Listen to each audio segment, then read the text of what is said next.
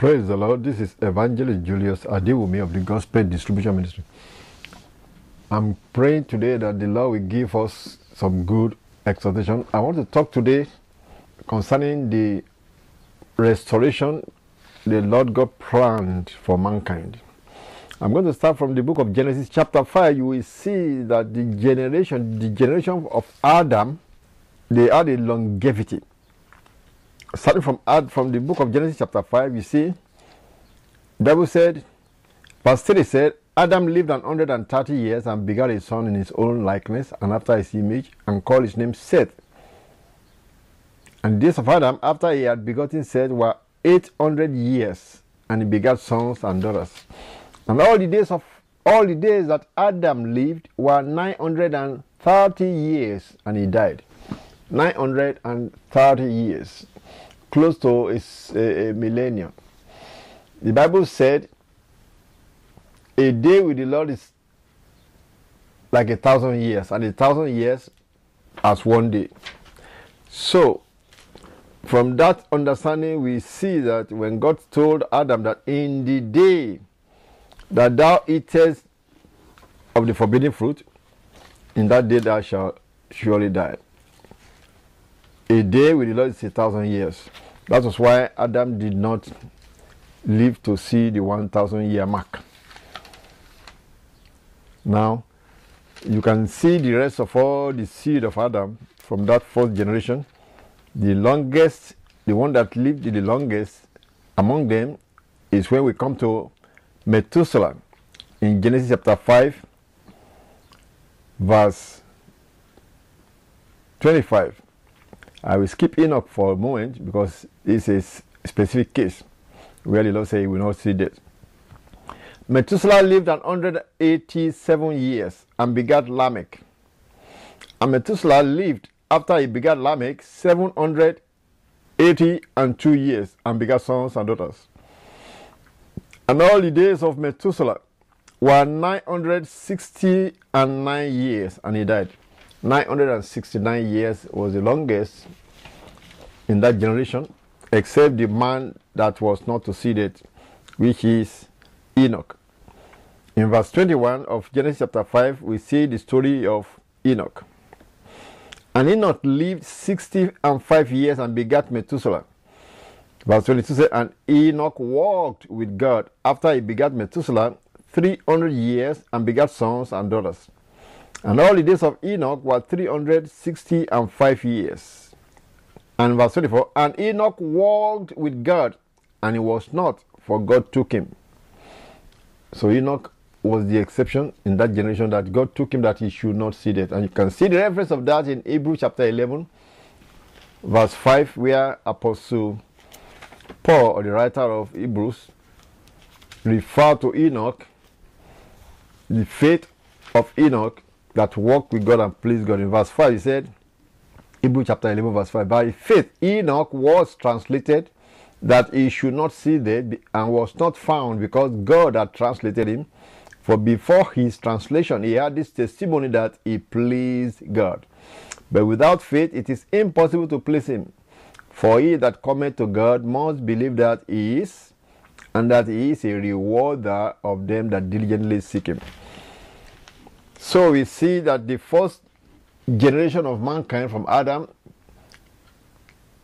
after the fall, they, they, they lived for close to 1,000 years. But God allowed them to, to be taken away because He has given that ultimatum to Adam in Genesis chapter 2, verse 17. He said, But of the tree of the knowledge of good and evil thou shalt not eat of it, for in the day, in the day, that is the key, that thou eatest thereof, thou shalt surely die. So a day with the Lord is as a thousand years. So that day that eat it of the fruit of the forbidden fruit, he did not live for 1,000 years. It was cut down at 930 years. 930 years. Now, I brought this to our understanding to make us to see that number one, from Genesis chapter 2, God did not plan for human beings to die. You can see that because he said, The day that they eat of the fruit, the knowledge of good and evil, in that day they shall die. And that was why Adam did not clock 1,000 years because a thousand years is like one day in the eyes of the Lord. So we can say God did not plan for human beings to die, to put away this tabernacle of flesh. So when Adam and the generation of Adam were dying, they were dying close to 1,000 years, 930 years, and the next one now and something years, and the next one and on and on. Methuselah lived the longest, 900 and he said all the days of Methuselah were 969 years. 969 years. And he still died. You may say, well, is that the same calendar? Yes. 969 years. The same writer went further and reduced the ages as they moved further and further forward. However, God was revealing because God will never leave himself without a witness. He was revealing to that generation after Adam that by just by revelation of the preaching of the word or the inspired inspiration of the Holy Ghost that they can repossess what Adam lost. They can repossess what Adam lost if they will walk with God. And you will see a Bible verse that alluded to that in Genesis chapter 4, from verse 26 of Genesis chapter 4. The Bible said, when Adam had his son Seth, and to Seth to him also there was born a son, and he called his name Enos. The Bible said, Then began men to call upon the name of the Lord. And just like Bible says, if you seek me, you shall find me when you shall seek me with all of your heart. So men began to call upon the name of the Lord from the, the, from the lineage of Seth.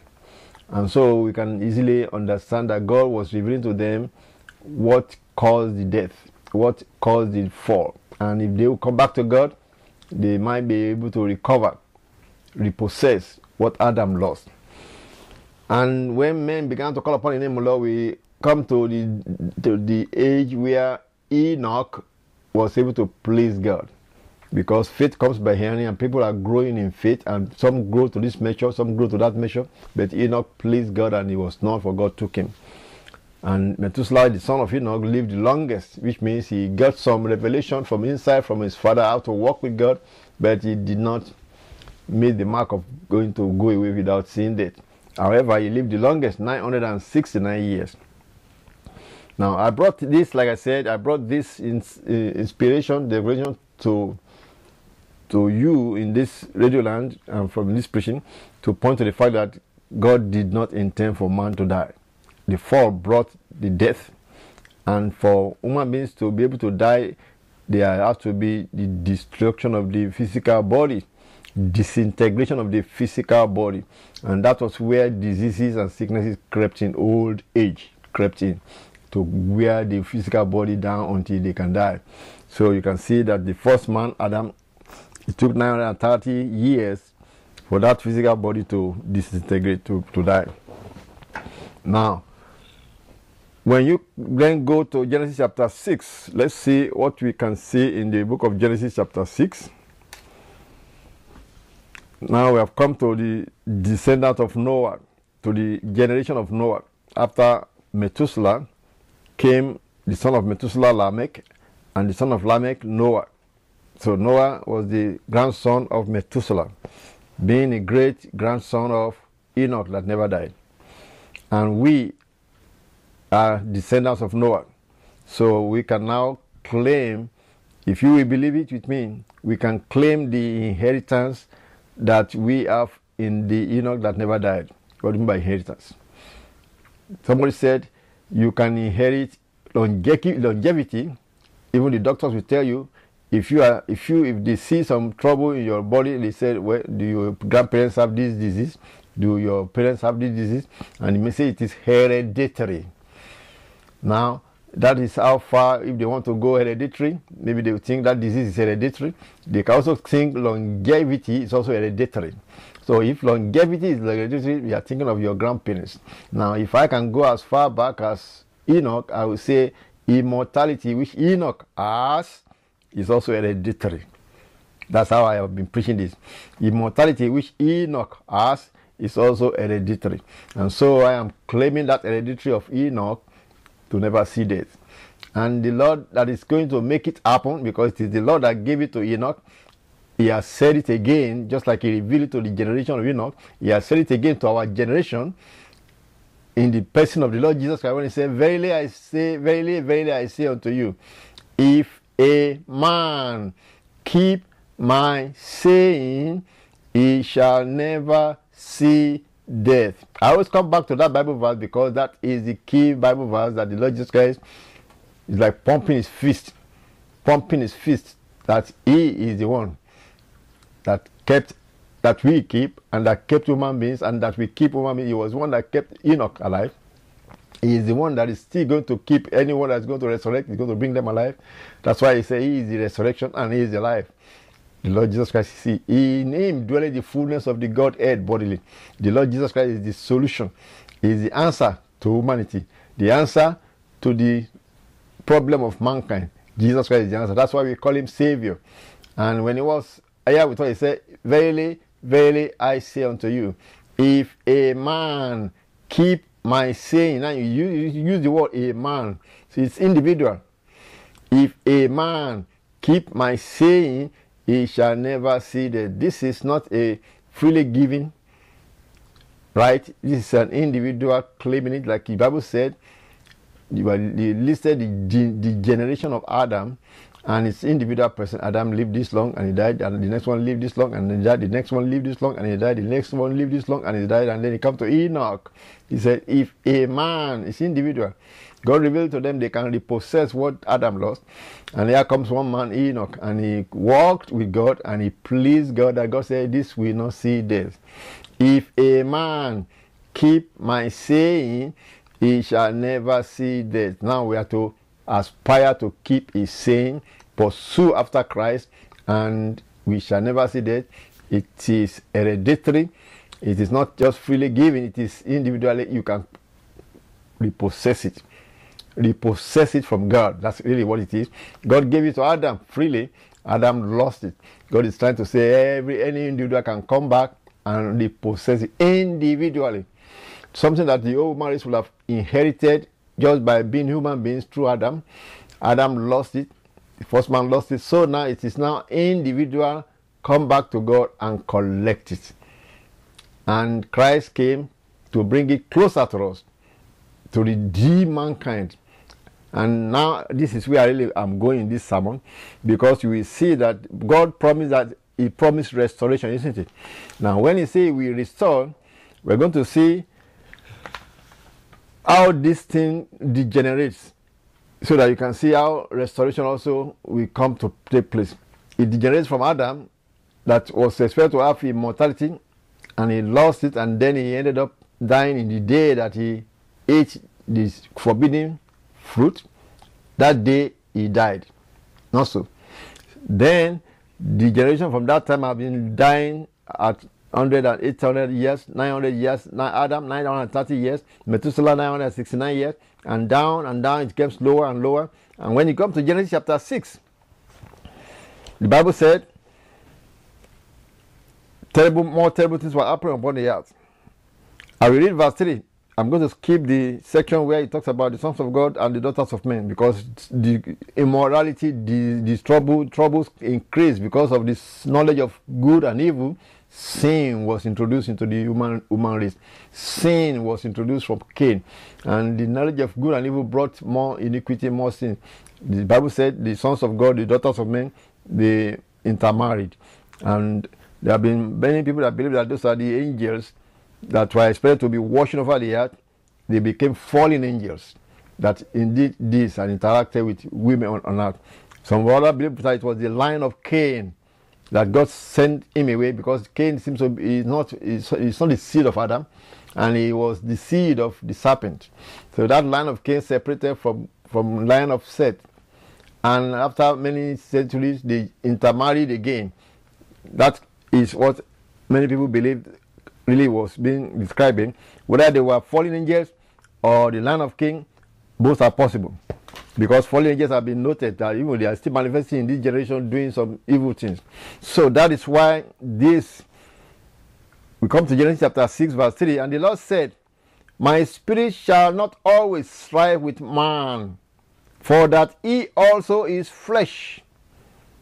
Yet his days shall be an hundred and twenty years. Now I brought this Bible verse into this sermon to make you to see that this is the first time that it was declared how long human beings will live. He said his days shall be an hundred and twenty years. So from Adam living for 900 and some of them living for 800 years and Methuselah, eh, Methuselah lived for 969 years, on and on, back and forth, back and forth, one disappeared, not seen them. Then God said, iniquity was increasing, sons of God and daughters of men have intermarried, giants were upon the earth, and God said, I will just cut their life short to 120 years.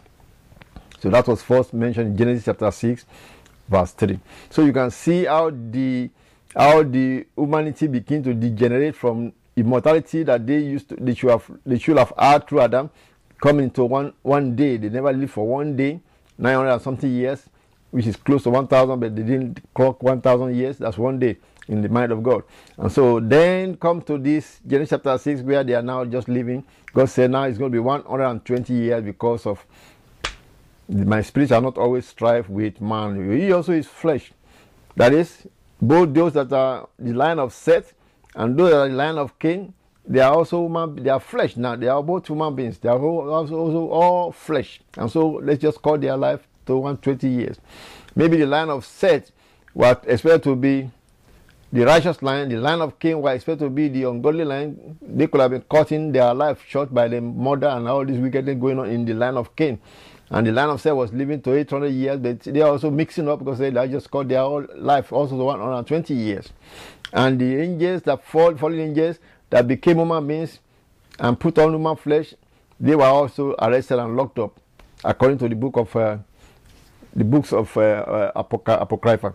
Book of Enoch mentions some of those things. Now let's go further. You can see where in the book Genesis chapter 6, verse 3, God called the life span of mankind to 120 years.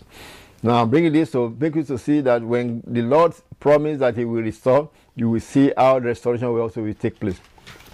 But right now we are seeing how the generation, degeneration of mankind took place from Adam through 1,000 years. They never live 1,000 years. Now it's come down to 120 years.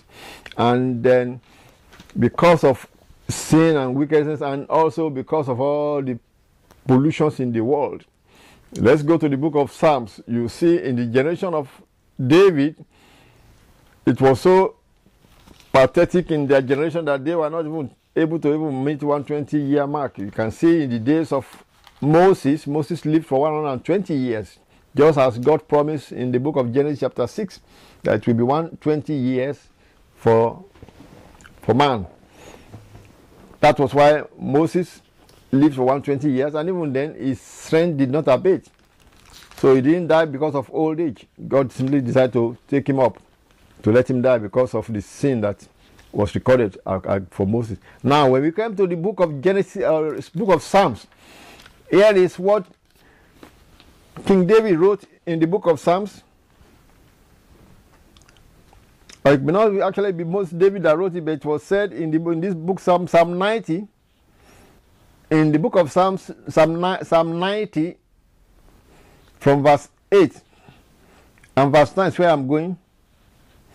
He said, For all our days are passed away in thy wrath. Say, we spend our years as a tale that is told. And verse 10 said, The days of our years are three score years and ten. That's 70 years. Because when you look at the age of King David, he only lived for about what? 70 or 80 years. And so David was the one that was lamenting in this Psalm 90 and he said, For all our days are passed away in thy wrath. We spend our years as a tale that is told. The days of our years are three score years and ten. That's 70 years.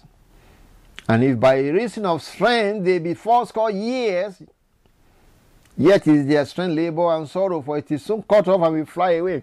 So in the days of King David, he was lamenting that the strongest among them was living only to 80 years.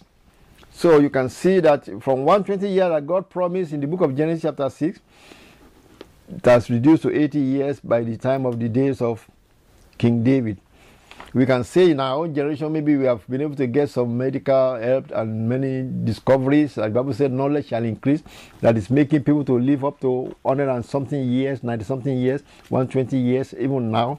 But it's still 115, 120 years, bringing them back as far back to the days of Moses. For those that are going to live, that are living that long, even in this our generation of the 2000, 2015, 2017, from the 1990s. But the what I'm bringing us to is to see that God promised restoration through the Messiah. And when we believe in the restoration that God promised through the Messiah, we have to believe that He's going to restore us gradually back to the days of Adam. And not only that, back to that immortality, which is what I'm preaching. We have told me to preach that He is restoring us back to immortality. Let's go to the, to the prophecy of Joel, chapter 2. Because God started promising, prophesying of what He will do through His prophets, even in the Old Testament prophets. And the book of Joel, chapter 2, God promised the restoration, which is actually not just restoration of uh, the nation of Israel, it's talking about the human race. Joel chapter 2, verse 25 said, And I will restore to you the years that the locust has eaten the cankerworm and the caterpillar and the palmerworm, my great army which I sent among you. So that restoration is not just restoring their food and their drinks, which we can say anybody can claim that, but God's promise is can be claimed anytime, anywhere. We can claim the promise for our, for our health that He will restore us. You can claim the promise of God for your livelihood, for your for everything you want to you can you can apply it to. So god is promising that even though he sent this army even the destruction of human human beings is like an army. An army of diseases because if you look around say what are causing diseases? They say germs bacteria viruses. Are those living things? Are the living things? Yes if you say they are living things that are trying to live inside the body of human beings that is tearing their body down. Well, who created living things? God created living things. So then you can say, if you say if there is army that is sent among them, among the human beings. So you can see, apply this Bible verse to everything that troubles human beings. God said, I will restore and drive that northern army. So I will restore to you the years that the locust, the caterpillar, the canker, cankerworm, and the palmerworm as it my great army. So God sent all of those things upon human race in a way. You say, wait, God did God send them, or is the Satan that sent them? God was God was responsible. God take responsibility for this, even though Satan brought it upon human race. But God took responsibility. Why? Because even it say in the days of Job, when it when Job when Job was afflicted with all the disease, God took responsibility for it, but it was the devil that implemented it. Satan implemented all those wrath. But now God has restored us back to Himself. Christ is reconciling man unto God so that we can repossess our, our, our inheritance. And that is where I'm, uh, this sermon is giving, getting us to. God has said, I will restore. And now, when He's going to restore us back to the plan of God in the beginning, which is the plan of God is for Adam to live on this planet and subdue this earth. And the plan does not include death, physical death. So he's going to restore us. God is planning to restore. He said, I will restore to you the years that the cankerworm has eaten. That is the promise of God for mankind, not, not only to the nation of Israel, for mankind. And Christ has come to bring us back. And that is why in the book of John, Christ said, The thief cometh not. Who is the thief? Satan, and everything that we are struggling with is the thief that is robbing human beings of our peace of mind, robbing human beings of our health, and robbing human beings of our of our life. And we put everything and call it Satan or, or devil. But Christ said, But I am come. Verse John chapter 10, Gospel of John chapter 10, verse 10 said, The thief cometh not but for to steal and to kill and to destroy. I am come that they might have life and that they might have it more abundantly. So Christ has come that we may have life and have it more abundantly. What is this life? This life that Adam lost in the beginning, which is immortality, God is restoring. But Christ said He has come that we may have that life and have it more abundantly. So now the restoration is what Christ has brought. And that is why the scripture is telling us in many words. In the second Timothy chapter 1, verse 10, the Bible said, Christ has abolished death, which is actually the ultimate punishment for mankind in the day that thou eatest thereof, thou shalt surely die. So which means is the ultimate death for mankind is the is the mortality. And Second Timothy chapter 1, verse 10 says, Christ has brought life and immortality to light through the gospel. Even this gospel that we preach. He has brought life and immortality to light. Second Timothy chapter 1, verse 10. And that was also why Christ said, It is given to individual now, it has to be individually claimed. Christ said of himself, Verily, verily, I say unto you, if a man keep my saying, he shall never see death. It's returning us back that when individually can come back to him, we shall recollect or repossess what Adam lost, which is immortality. Which is immortality. Enoch was able to get it. He gave it to Elijah the prophet, but Elijah is going to come back. But some people assume that he's going to come back because he didn't die. No, that's not the reason because there's a different reason for that. But I will not go into that in the moment. But that all also part of prophecies being fulfilled. Because God has to say, oh, we have to fulfill all righteousness. So, but I will leave that for another time. But this is gospel distribution ministry. And I want you to write to us so that we can get some more exhortation. I just pray that the Lord will open your understanding to see that what Adam lost in the Garden of Eden, Christ has come to restore us back to that paradise of God, where we can partake of the tree of life. Because you see, when Adam lost it, what the Bible say about the tree of life? God said he has to drive them out of the garden so that they do not partake of the tree of life and live forever. So this living forever, which is immortality, is what Adam lost.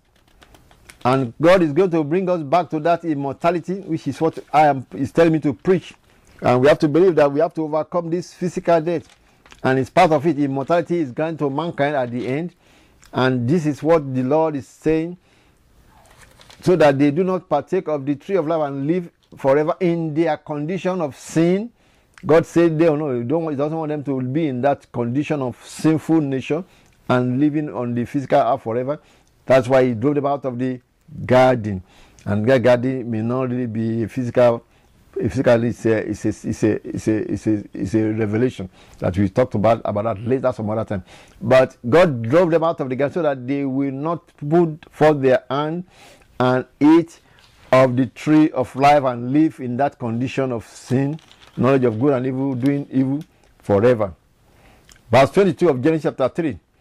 And the Lord God said, Behold, the man is become as one of us, to know good and evil. And now, lest he put forth his hand and take also of the tree of life and eat and live forever. Lest he live forever in this condition. Therefore, the Lord God sent him forth from the Garden of Eden to till the ground from whence he was taken. So he drove out the man and he placed at the east of the Garden of Eden cherubims and a flaming sword which turned every way to keep the way of the tree of life. Now, there are revelations in, involved in that, which I'm not going to go into that right now. But we are running out of time. In the next broadcast, we continue this discussion about restoration of humanity, of mankind back to the Garden of Eden, back to the mortality that Adam lost, which is what Christ has brought. Everything is fulfilling Christ the Messiah, and that is why he said, the Lord said to the Messiah, Sit thou at my right hand until I make thy enemies thy footstool.